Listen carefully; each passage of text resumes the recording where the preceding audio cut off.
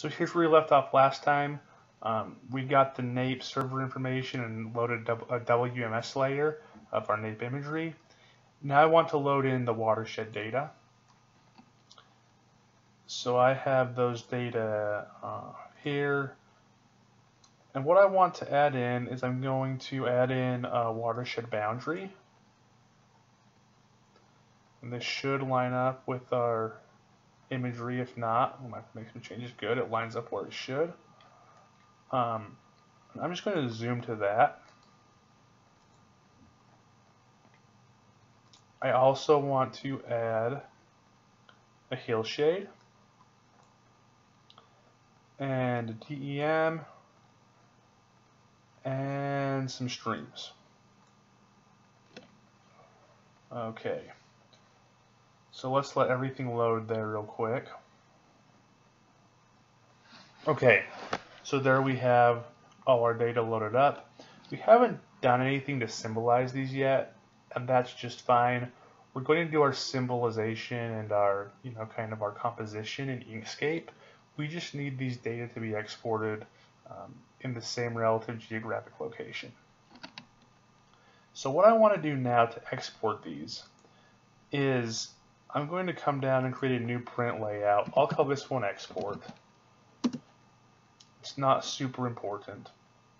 And what I want to do is this gives me like the the layout view. If you use ArcMap, this is analogous to the layout view for QGIS, but it's really where I can compose a map and put together a map. Um, it's very much like a, a graphics uh, organizer and illustrator. I'm going to click on this button here, this kind of blank page looking button, and this adds a new map to the layout. And I'm just going to cover my whole layout with this map. So you can see that it's rendering the map now. And there we have the map. I'm just going to make this so it's the full size of the page.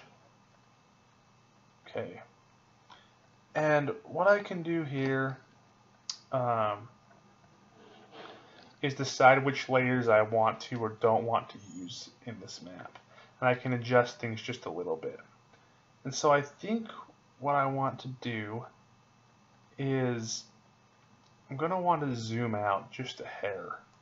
Um, so I'm going to come over here and maybe I'm going to zoom out just a little bit. Come back to my map and uh, I can refresh that. I take a second here. refresh that. Or I can change the scale here. Maybe make this 100,000.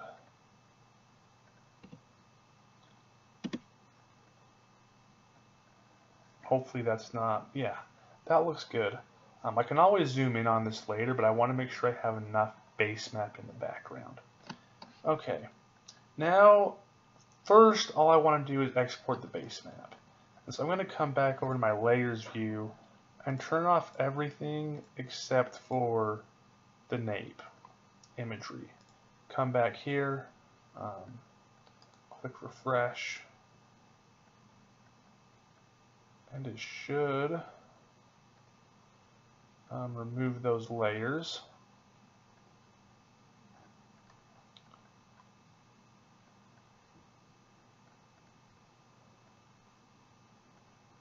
Sometimes it takes a minute to refresh.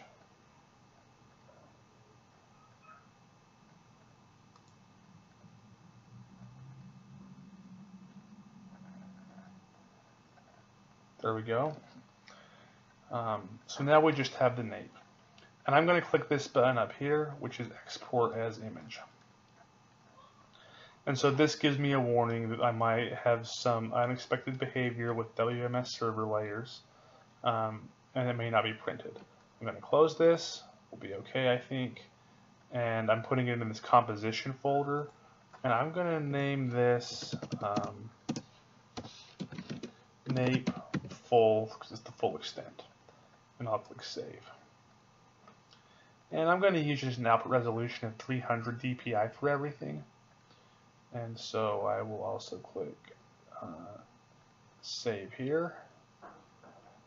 We won't do any cropping to content. Uh, this should be just fine. Okay, that's going to save.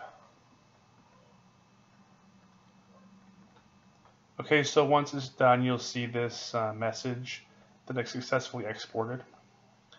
And now I'm going to go back to QGIS. I'm going to turn off the base map, and I'm going to turn on the hillshade. I'm going to go back to my composer. I'm going to refresh the view, and I'm going to export this the same way that I exported um, the, the NAIP imagery. Export as image, and I'm just going to name this HLSD for Hillshade as a PNG, save, 300 dpi. I'm not going to crop, I'll click save. And once again, we have our message here as, as that's exported successfully. I'm going to go back and do this also for the digital elevation model, the DEM. And we'll go back to our composer, we'll refresh it, and we'll click export uh, as PNG.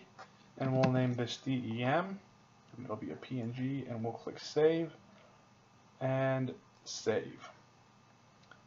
Okay, and that's exported now. Okay, now let's go ahead and you're, I think you're getting the hang of this. Uh, watershed boundary, let's turn that one on.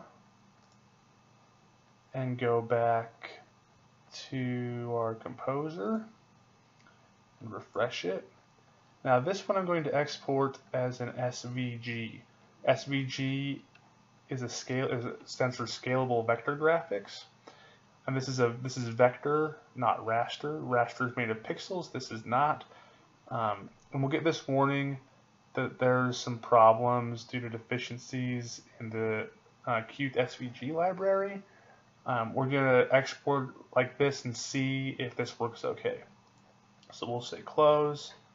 Um, we're going to call this boundary.svg. And uh, we're just going to leave everything as the defaults here. We'll click save and we can see that's completed and now we're going to go back and we'll do the same thing for our streams and uh, export as SVG ignore the warning and we'll call it streams save save and that's done and I really hope that that updated before I did it. I didn't refresh the thing in the viewer, but it did after I saved it, so so hopefully we're good to go. So that's how we can export those those data layers. Um, moving on, we'll go through how to get those into Inkscape and manipulate them in Inkscape. Um, so don't close this composer, leave this composer open. Don't adjust the scale. We want things to stay the same because we're eventually going to need to add a scale bar um, we don't want to, we want to have everything relatively the same when we add that scale bar in.